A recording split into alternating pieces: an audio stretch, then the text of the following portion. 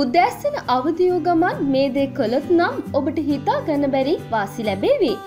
මේ වගේ වැදගත් වීඩියෝ බලන්න අපේ YouTube චැනල් එක සබස්ක්‍රයිබ් කරන්න.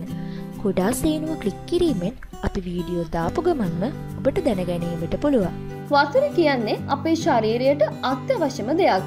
වතුර පානය කිරීම අඩුනාම අපගේ ශරීරය විවිධ ලෙඩරෝග සඳහා ගොදුරු වෙනවා. වතුර පානය කිරීමෙන් නිරෝගීව සිටීමට මෙන්ම තමන්ගේ බර පාලනය කිරීමටද දායක වෙනවා. උදැස්සන අවදිවූ ගමන් මද උණුසුම් වතුර වීදුරුවක් පානය කිරීමෙන් ඔබට ලබාගන්න පුළුවන් වාසිදායක තත්ත්ව කීපයක් ගැන තමයි අද අපි ඔබට කියන්න සූදානම් වන්නේ. අපි බලමු මොනාද මේ ලැබෙන ප්‍රතිලාභ කියලා. ඔයාගේ බර අඩුකර ගැනීමට උපකාරී වෙනවා.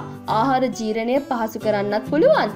පුරුත්තක් විදිහට උණුවතුර පානය කිරීමෙන් පැහැපත් සමක් ලබා ගන්න පුළුවන්.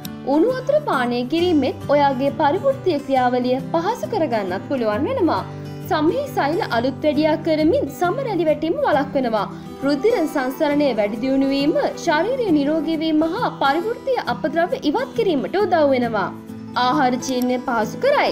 ආහාර ජීර්ණ පද්ධතියේ ක්‍රියාකාරීත්වයට මනාව පවත්වා ගනිමින් මලපත්දේ වැනි රෝග වළක්වා ගන්නත් උණු වතුර උදව් වෙනවා.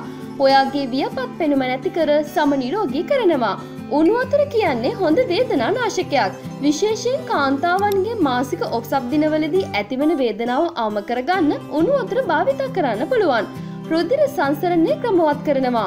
ඒ වගේම රුධිර නාලවල තැන්පත් වී ඇති මේද ඉවත් කරන්නත් උණුවතුර දායක වෙනවා. එමගින් බොහෝ ලෙඩ රෝගවලින් ආරක්ෂා වෙන්න ඔයාට හැකියාවක් ලැබෙනවා. උදැස්සන අවදියූ ගමන්ම මේ විදිහට මද උණුසුම් ජලයවට පානය කරන්න පුළුවන්න අපි මේ කියපු විදිහට මේ ප්‍රතිලාභ සියල්ලම වගේ ඕට ලබාගන්න පුළුවන් වෙනවා.